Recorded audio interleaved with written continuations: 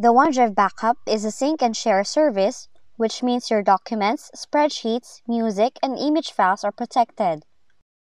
But if you don't want to sync all your folders in OneDrive to your computer, you can specify which folders you'd like to sync. And to learn more about that, follow these next steps in this video tutorial. Now to choose which OneDrive folders to sync to your computer, first is you have to find and navigate the white or blue OneDrive cloud icon in your Windows taskbar notification area. Then, click on it, select OneDrive's Help and Settings icon, and then select Settings. In the window, select Account from the horizontal tabs, and then select Choose Folders. In the Sync Your OneDrive Files to PC dialog box, uncheck any folders you don't want to sync to your computer,